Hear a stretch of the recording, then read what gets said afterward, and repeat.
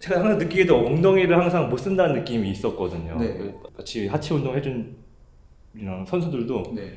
엉덩이를 좀 못 쓰는 것 같다 음. 그렇게 말했는데 확실하게 어떤 이게 솔루션을 이렇게 주지 못했었는데 음. 확실히 딱 어서님이 이렇게 주셔갖고 아. 어, 좀 확실히 발달할 수 있을 것 같습니다. 네, 안녕하세요. 블리스입니다. 오늘은 채널에 특별 게스트를 모셨습니다. 누군지 아시죠? 총총님을 총총입니다. 모셨습니다.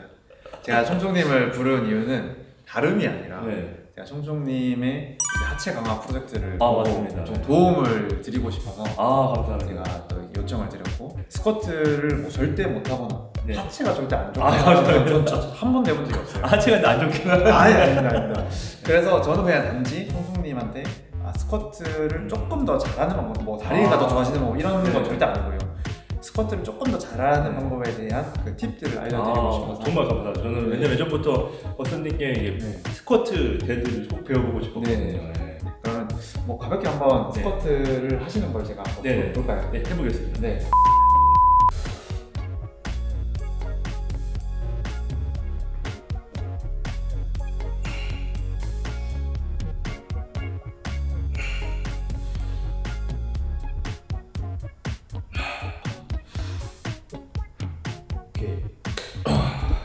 자세가 아. 너무 완벽해요. 아. 너무 좋거든요. 제가 뭘 개선해드리고 싶은가요? 네. 저는 어, 스쿼트 자세를 개선시킨다기보다는 스쿼트 할 때 조금 더 많은 근육을 동원되는 법을 아, 알려드리고 오, 싶어요. 그러니까 지금은 사실 네. 어떻게 보면은 어, 이게 보디빌딩식이라고 말하는 좀 웃긴데 네. 조금 대퇴사두의 개입도를 높이기 위한 네. 자세로 스쿼트를 많이 지금 하시는 것 같아요. 네, 네, 좀 앞쪽에 네. 제 사드랑 직근을 좀 더 신경을. 쓰다 보니까 무릎이 살짝 앞으로 나가는 네. 그래서 그 자세가 저는 절대 나쁘다고 말하는 건 아니고 네. 뭔가 중량을 더 실기 위해서는 어쨌든 조금 더 많은 근육을 동원하는 네. 게 좋을 것 같고 그리고 사실은 어떻게 보면 중량을 많이 못 드시는 이유가 네. 다른 근육들의 개입도가 적기 때문에 그러니까 아. 실제로는 아마 대퇴사두에 받는 무게 자체는 많을 것 같아요 네. 근데 다른 근육들이 조금 더 개입된다면 조금 더 안정적으로 음. 무게를 올릴 수 있지 않을까라는 생각인데 그 중에서 제가 지금 특히 가장 힘이 안 들어가는 부분 같아 보이는 게 네. 엉덩이에 맞아요. 힘이 안 들어가요 엉덩이가 그냥 아- 하나도 안 쓰긴 네, 해. 근데 이게 왜 왜 안 쓰냐면 네. 되게 간단한 이유예요. 지금 그냥 스쿼트를 이렇게 앉으시려고 하잖아요. 네. 그럼 당연히 이 근육이 접혔다가 네. 펴지는 거잖아요. 네. 근데 여기서 처음부터 엉덩이를 힘을 딱 줘보시면 네. 다리가 살짝 이렇게 벌어지는지 아니 발이 고정된 상태로 이 대퇴사두가 바깥으로 내전이 돼요. 네. 네. 이 상태를 엉덩이 힘을 딱 잡아놓고 음.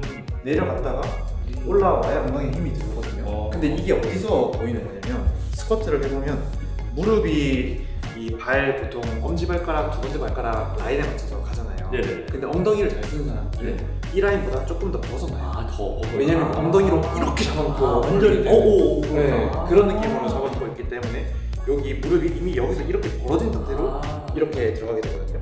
그래서 지금은 스쿼트 아마 큐가 그냥 이렇게 앉아일 건데 네네. 그런 큐보다는 무릎을 바깥으로 벌리고 내가 그 사이로 이렇게 약간 들어간다는 느낌으로 받는 게 훨씬 더 좋아요. 음. 그렇게 하면 엉덩이에 힘이 들어오실 거예요. 아. 근데 이렇게 큐를 알려드리는 네. 거구나. 진짜 우리가 스쿼트 할 때 제일 중요한 근육 중에 하나가 중등근이라는 근육이 있는데 네네. 여기서 무릎만 바깥으로 이렇게 벌려주시면 어, 이게 골반이 바깥으로 나가면서 중등근이 수축이 돼요.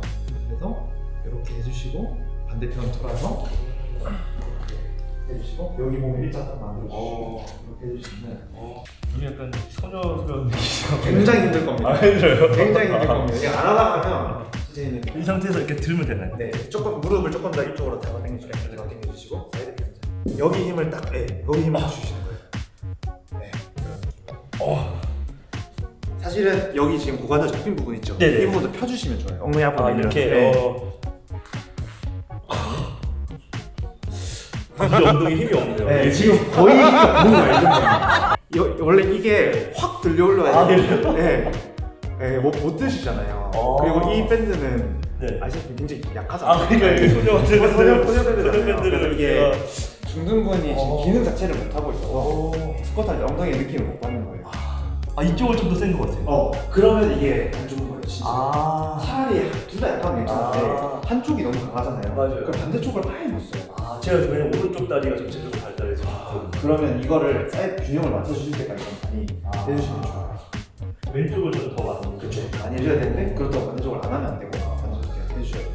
보통 한 10번씩 아. 정도 번갈아가면서 하시면 어. 이게, 이게 되게 효과가 있거든요. 오. 그렇게 하고 나면 이제 스쿼트 할 때 여기가 조금 쓰이는 느낌이 나거든요. 아. 그러면 골반이 조금 더 잘 돌아가면서 아. 엉덩이에서 출력을 확 만들어낸다. 그래서 지금은 사실 이렇게 앉았다가 올라올 때 이 자세가 여기서 시작 자세가 힘들잖아요. 네. 근데 엉덩이가 개입이 되면 네. 여기서 이미 엉덩이가 확 늘어나 있는데 여기서 폭발적이 되면 막 만들어내줘요. 아, 밑에서 막잘 치고. 아, 거기 또 쉬워, 네. 수월해지는구나, 엉덩이 근육 때문에. 아. 그럼 스쿼트 한번 해보실까요? 네.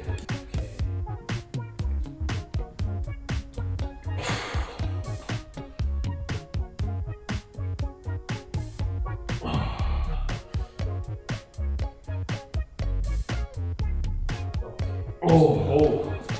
어, 진짜 엉덩이가 자극이 딱, 딱 들어가면 느껴져요. 네. 이 방법이 무조건 좋다라는 건 아니에요. 근데 어쨌든 중량을 안전하게 올리는 방법에는 엉덩이가 개입되면 좋으니까 이 방법도 한번 고려해 보시라 하고 제가 알려드린 아 이게 왜냐면은 이제 어쨌든 보디빌딩이나 클래식 피지컬에도 엉덩이 둥근이 되게 중요하게 보거든요. 그래서 이제 둥근을 둥근 따로 운동하는 것도 중요하지만 이렇게 스쿼트에서 한 번에 다 사용해서 하면은 음. 훨씬 더 효율적이고 좋으니까 이렇게 하는 게 더 좋을 것 같습니다.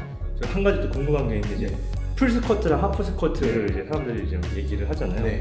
풀 스쿼트를 하면 좀 더 둔근이 쓰이는 거고 하프 스쿼트는 사두에 집중을 해서 하는 게 그게 맞는 건지 하프 스쿼트만 해도 충분히 아. 둔근까지 사용하는 건지 사실은 이제 다리의 자세에 따라 네. 폭에 따라서 쓰이는 게 다르고 음. 그 다음에 그 사용되는 길이가 다를 것 뿐이지 아. 하프 스쿼트를 한다고 엉덩이를 뭐 덜 사용하거나 하지 않아요. 하프 스쿼트를 하더라도 네. 내가 엉덩이를 딱 힘을 줘놓고 네. 갔다가 여기서 꽉 짜는 느낌만 잘 가져가더라도 엉덩이 수축이 많아지는데 아. 대신에 엉덩이 이완 범위가 짧겠죠. 그래서 그런 걸좀 취사 선택을 잘 해야 되고 음. 예를 들면 내가 진짜 고중량으로 네. 그냥 하프 스쿼트만 해서 수축감을 가져갈 거야 네. 라는 선택을 전략을 취할 수도 있고 나는 조금 무게가 낮더라도 음. 최대한 이완시킬 거야 라는 전략을 취할 수도 아. 있는 거고 그냥 가동 범위 그쵸, 상태에서 나누는 그쵸, 똑같은 그쵸. 느낌, 느낌인 것 같아요 아. 그래서 정답은 없고 아. 다할 수 있는데 뭐가 난 좀 더 잘 맞는지를 음. 취사 선택하는 아. 것 같아요 근데 네.